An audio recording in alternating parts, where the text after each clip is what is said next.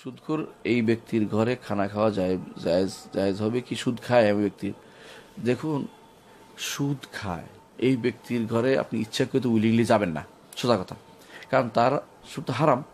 কিন্তু সুদখোর যদি আপনাকে দাওয়াত দেয়, তখন কি করবেন? যদি তার অন্য কোনো আয় না থাকে, শুধু সুদের টাকায় হয়, তাহলে আপনি খাবেন না।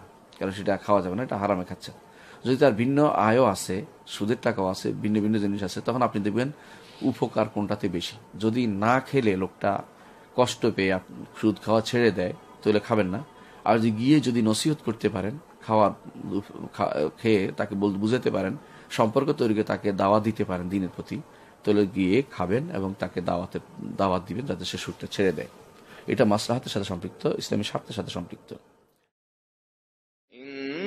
إنما المؤمنون الذين إذا ذكر الله وجلت قلوبهم